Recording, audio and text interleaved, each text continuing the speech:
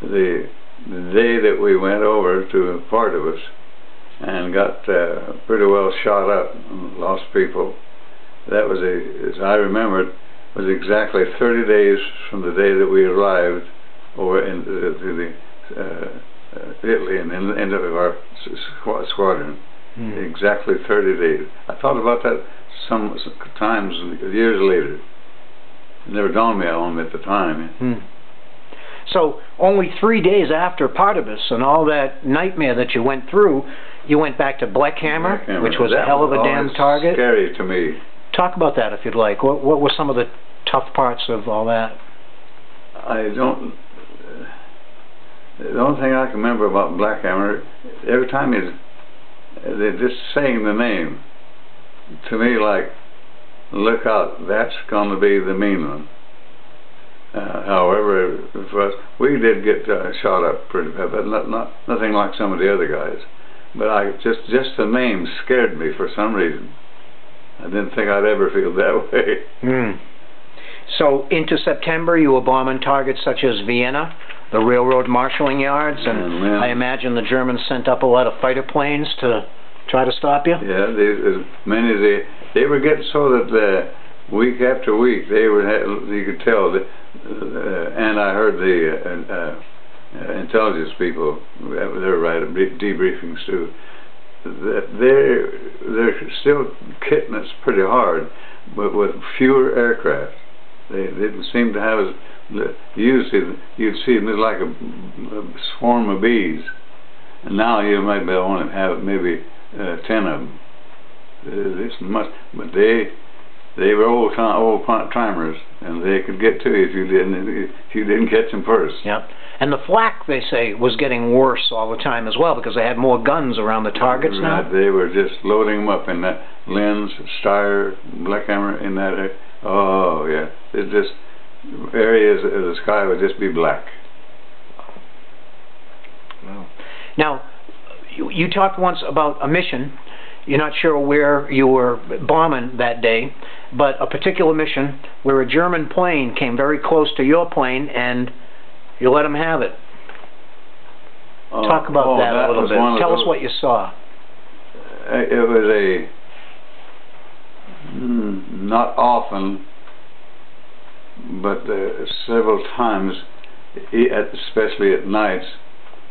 Somehow the Germans had spies get in there and actually uh, blow up our airplane right on the flight line, loaded ready to go, and their explosions just rocked the whole area. The uh, the next day, though, when we went, took off on our mission, we get up over the Adriatic, and that's where we, uh, on the command of the pilots, we lo loaded, lo loaded the shells into the guns and shot, and make sure each one of them worked. That about three fourths of them didn't work. There was something wrong with the with the ammunition or whatever. But we had to go on. We pressed on anyhow and that's why that the Germans just fly, flew right up to us. They knew they weren't going to get hurt, but uh, I guess just being fooled. You know, they several of us did have live ammunition, and I was I crawled up into the, the upper turret and looked back toward the back end of the aircraft, and I saw uh, I could see uh, uh, Corny Finero look, just looking on the top of the airplane. He's the I tail could gunner. See him back there and and see him moving, you know. And I, I never did hear him shoot any. I really didn't. Uh, but from that point, I, while I'm kind of looking what's going on here, anybody else who you know need help? Uh, but I just looked to my left, and here come a German plane just flying up right behind uh, our our wingman and it's just right up there. It looks, looks, looks like everything's moving so slow, you know, in there. And I didn't know that I remembered to say, I'm going to do this. I don't remember that. All I did was just swung, swung around there, and I took a bead on the nose cone of the aircraft, fire, kept firing, and just ripped it all the way back to the cockpit. It this fellow there, he sat there, the pilot, I could see him just as plain as day.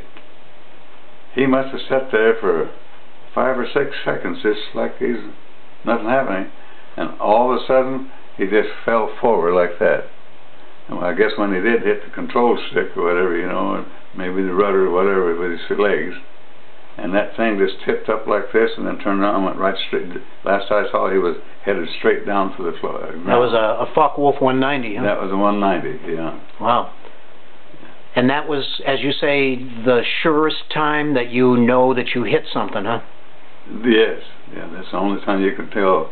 I I could actually see him. hmm Uh, no, as a normal thing, you you shoot him. If now if you hurt him, you you'll see whatever it is, oil and streaks and fire, you know, or something like that.